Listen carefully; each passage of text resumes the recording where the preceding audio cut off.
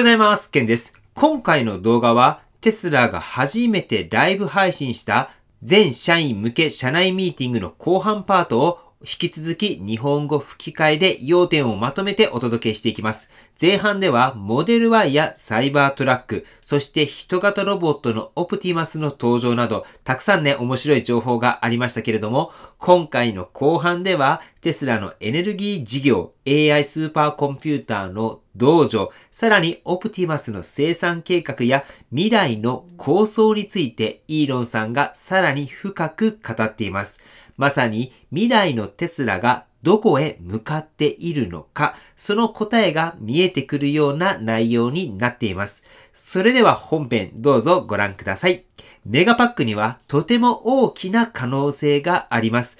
例えば、夜間は電力消費が少なく、昼間は多い。この差をうまく埋めることで、既存の電力グリッドの出力を倍以上に増やすことも可能なんです。新しい発電所を建てることなく、1年あたりの電力供給量を2倍にできる可能性がある。これはとても重要な意味を持ちます。それだけではありません。メガパックは電力の安定化にも非常に優れています。グリッドに急激な電力の変動があったとき、メガパックはそのエネルギーを吸収し、必要な時に放出する、まるで巨大なバッファーのように働いてくれるんです。もちろんこれは太陽光や風力と非常に相性がいい。実際すべての人工衛星がどうやって動いているのかというと、ソーラーパネルとバッテリー、それだけです。例えば私たちのスターリンク衛星ネットワークも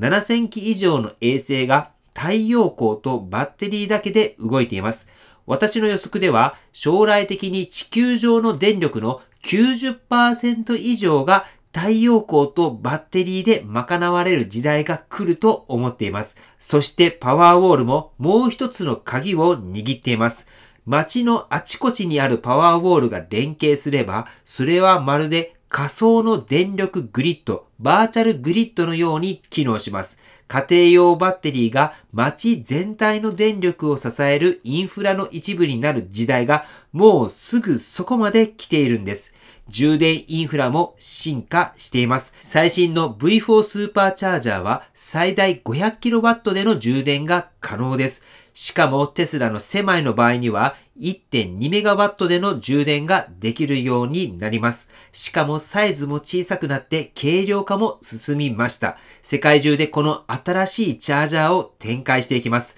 つまり、より早く、より便利にどこでも簡単に充電ができる未来が現実になろうとしているんです。そして現在、私たちは世界で最も効率的なバッテリーセルを製造していると考えています。つまり 1kWh あたりのコストが世界で最も低いということです。これはとても大きな成果です。というのも世の中にはバッテリーセルだけを作っている企業がたくさんある中で私たちにとってはこれはあくまで事業の一部に過ぎないんです。それでもここまでの性能を実現できたことに、セルチームの皆さんには心から感謝しています。素晴らしい仕事です。そして私たちはバッテリーそのものだけではなく、そのサプライチェーン全体にも投資しています。例えば仮想度の生産拠点も自社で持ち、リチウムの生成も自分たちで行っています。本当は誰か他の企業がやってくれるとありがたいんですけど、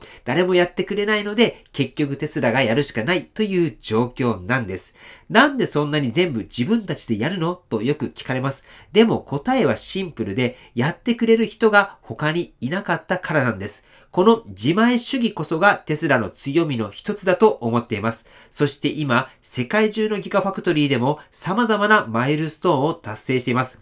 例えば、ベルリンでは66万台のドライブユニットを生産。フリーモントではオプティマスの初号機を生産ラインで完成させました。ギガファクトリーオースティンではサイバーキャブの量産準備が進行中です。ギガ上海では累計300万台目のテスラ車が生産されました。ギガニューヨークでは16万個のナックスアダプターを生産。そしてギガネバダでは過去最高のバッテリーパック生産数を記録しています。世界中のチームがそれぞれの現場で力を発揮してくれている。改めて全員に感謝を伝えたいと思います。本当にありがとう。そしてここギガテキサスのすぐ裏には私たちがコアテックス1と呼んでいる巨大なコンピューターがあります。これは AI の学習専用に設計された脳のような存在です。テスラの全車両から送られてくる膨大な映像データを使って自動運転の AI をトレーニングしています。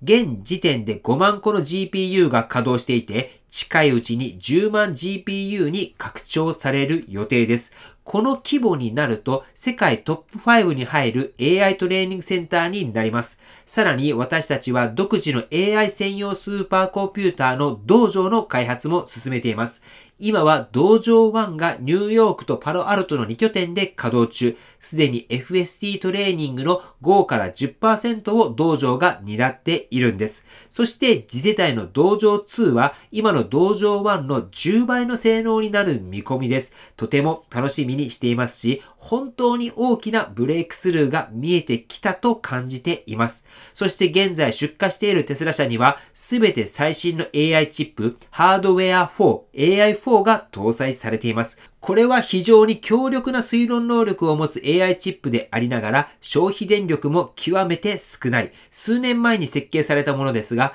今でも市販されている中ではこれ以上の性能のものは存在しません。もちろん将来的には AI5、AI6 と進化していく予定です。じゃあ次のバージョンまで待った方がいいって聞かれるけど、それを言い出すとキリがない。私たちは常に進化していきます。だから今買っても間違いなくすごいものを手にすることになります。ちなみに今すでに人が乗っていないテスラが実用的な移動をこなしているんです。例えばフリーモント工場では完成した車が自ら運転して配送用の駐車スペースまで移動していきます。この人が一切乗っていない状態で動いている車を見るとやっぱり感動しますね。今後はオースティンでも同様の取り組みを展開していきます。そして FSD の進化は間違いなく実感できるレベルまで来ています。手動介入はどんどん減っていて、将来的には人間よりも安全に運転ができる状態になります。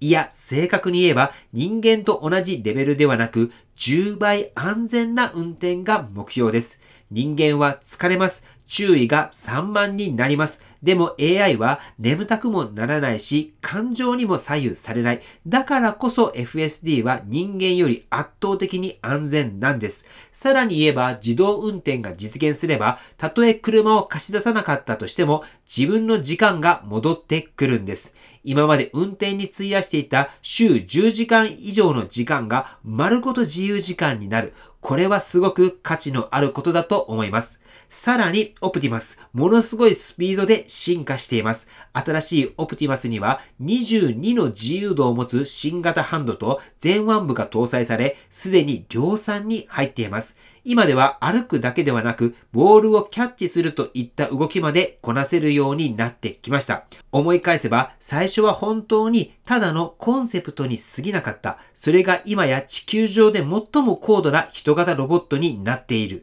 そして私たちが他と決定的に違うのは、このロボットに本物の頭脳があるということなんです。テスラはリアルワールド AI のリーダーです。それを車で学び、オプティマスに応用しています。さらに、電動モーター、バッテリー、パワーエレクトロニクス、構造設計といった分野にも私たちは強みを持っています。でも何よりも重要なのは製造できるということです。ロボットを実用的にするには賢くて役に立つだけではなく大量生産できる必要があるんです。そしてそれを実現できるのがテスラただ一社だと私は確信しています。私の予想では、このオプティマスは史上最大の製品になるでしょう。どの製品とも比べ物にならない、次に大きい製品の10倍の規模になるとすら思っています。今年は5000体のオプティマスを生産する予定です。部品としては最大1万2000体分まで確保しています。もちろん新しい製品で全く新しい設計なので目標の半分でも達成できたら上的でしょう。それでもローマ軍隊1体分のロボットを作ることになります。ちょっと怖いかもしれないけれど、そして来年はその10倍5万体規模へ、これはもう軍隊どころか産業の軍隊とも言える存在になります。そしてオプティマスはまずテスラの社内環境で実用化していき、その後来年の後半には外部提供が可能になる見込みです。販売はまずテスラ社員に優先的に提供します。もちろん新製品ですから多少バグもあるかもしれません。でも正直言って友達にちょっとうちのロボット見てよって自慢したくなるレベルになるはずです。次はサイバーキャブについて、このサイバーキャブについても話しておきたいことがあります。これは単なる新しい車というだけではありません。製造そのものを根本から変えるプロジェクトでもあるんです。もしサイバーキャブの生産ラインを見たら、これが車の工場なのかと驚くはずです。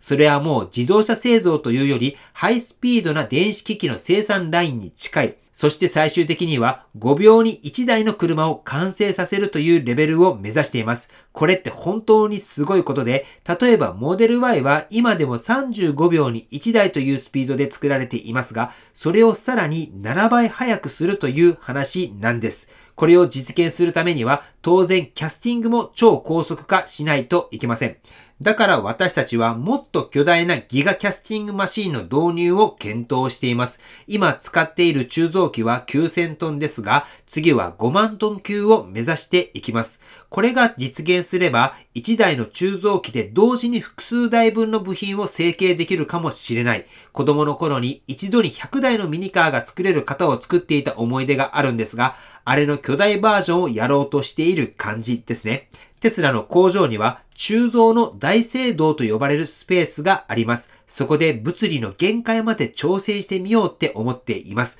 どこまで巨大な鋳造機が作れるのかやってみようじゃないかと。こういう挑戦ってやっぱりワクワクするんですよね。限界に挑むってやっぱり楽しい。我々が目指している未来。それは持続可能な豊かさと宇宙進出が共存する世界です。ただ、ユートピアって聞くとちょっと怖く感じる人もいるかもしれませんね。実際よく話ですが、理想郷を描いた物語の多くが結局ディストピアに変わってしまうんです。だから僕たちもそれを忘れないようにしなきゃいけない。とはいえ、どんな未来が理想だと思いますかと聞かれたら、やっぱり僕はこう答えます。すべての人に自然と調和した豊かさが行き渡る未来。それが一番いい未来じゃないかなって思うんです。でもあなたが言うように全てが簡単になりすぎた未来はもしかすると退屈になってしまうかもしれない。人間ってやっぱりちょっとした困難や挑戦がないと生きがいを感じにくくなるんですよね。